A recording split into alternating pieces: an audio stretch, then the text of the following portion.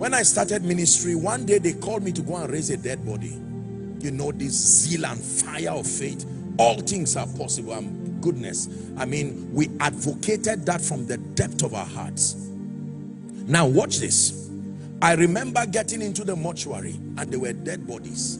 Which one am I going to raise? Because it's not just one or two.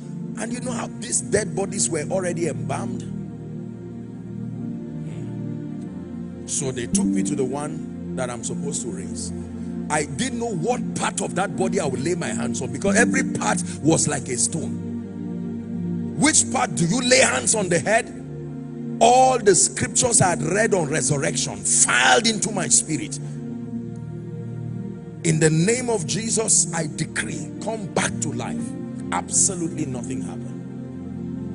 In the name of Jesus Christ, as a servant of the Lord Jesus, come back to life.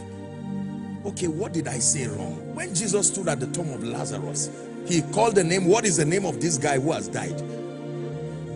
So so so and so back to life. Yet in my mind i thought i was failing. I did not know that i was growing. Is someone learning now? That i left that place not obtaining things but there was a good report because what you do after disappointment is really what shows whether you believe God. What you do after the name you call God after your tears. Where you go to after everything fails. So many believers leave church and they say, you know what?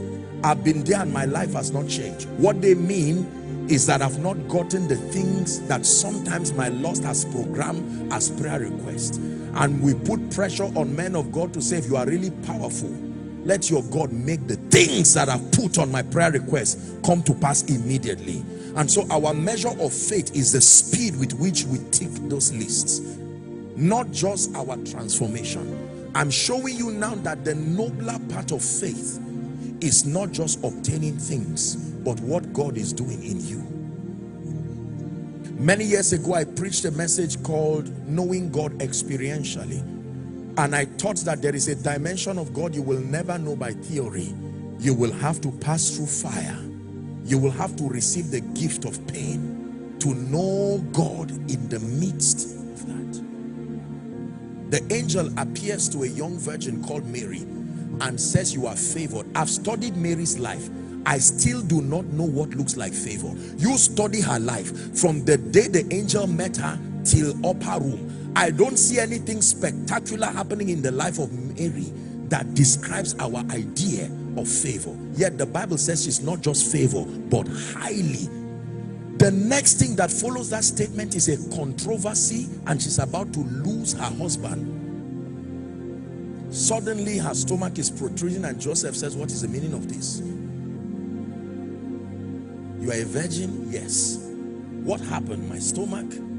I met an angel. I'm sincere. I'm telling you. This is an angel that appeared to me and he said the Holy Ghost will come upon me. Imagine telling your in-laws that kind of thing. It's better to keep quiet than even to sound stupid. You see, sometimes we think that these things are just parables. You think that Mary was just a quiet lady who just endured until the pregnancy came. The Bible says Joseph was planning to leave her in peace. He didn't want to embarrass her publicly, but he said, I can't take this. I'm on my way going. It took God intervening. How about other naysayers within the society? They will see her and say, highly favored, stupid woman. You better confess the rabbi or the scribe or the Pharisee. Better us, we are bad people. The whole society knows. You that has claimed you are a nice person. Look at it now. In all of our madness, we did not have children out of wedlock and yours now you claim you're a woman of God and then she had to endure the Bible says Mary kept these things to herself and yet the Bible calls it highly favored ladies and gentlemen based on your knowledge of favor in relation to things what did she obtain that the day she gave birth to Jesus it was even an uncomfortable thing. And then after that she hears that they are looking to kill all children from two years and below. What looks like favor in that story? I will tell you where the favor is. A day will come people will call to the table of greatness those who have a kind of pain that only you have. And you will be the only one to be able to stand up when you get to heaven among the many ways we know Jesus it's not just by the crown. The 20 and 4 elders also have crowns but there is a scar that only one person has. That what is a basis for shame today will be what you will be proud of tomorrow. And the Bible calls it faith. Now faith is the substance of things the evidence of things we usually stop there. So our mind is programmed towards things. Cars houses nothing wrong. Breakthrough increase. And then the Bible says more than things that there are times you may not get things but your attention must go to the report. And the Bible gives us an example. The first three people had nothing to do with obtaining things Abel Enoch Noah all of them obtained reports either as righteous people or whatever it is that happened to them. It's only when we get to Abraham that we now see that Abraham believed. We now see the word obedience. We see the word believe. We see the word receiving. And even for Abraham it was not everything. Because the Bible says in these shall all the families of the earth be blessed. He never saw that one. He died he saw Isaac but he never saw the salvation that would come through him. How about the women who had the opportunity to experience life but the Bible said they rejected deliverance because there was something nobler. The report was of greater essence to them than receiving things. They had the opportunity to use the power of the Holy Ghost to command deliverance but they said no I rather be called a martyr than to be called someone. They they they chose that report. Is a very hard teaching to accept huh? you see how it's affecting you now. What about my prayer request? I came with it it's in my pocket. Leave it there. We are going to pray on it. Uh, there's nothing wrong with your prayer request.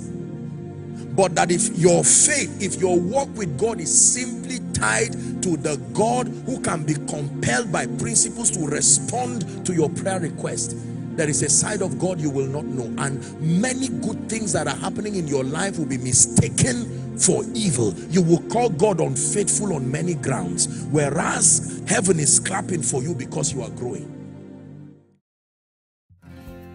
This sermon was downloaded from www.spiritnerds.org. We equip Christians with thousands of strategic spiritual materials daily. Join millions of Christians around the world who have come to Spirit Nerds to learn about God and His Word today.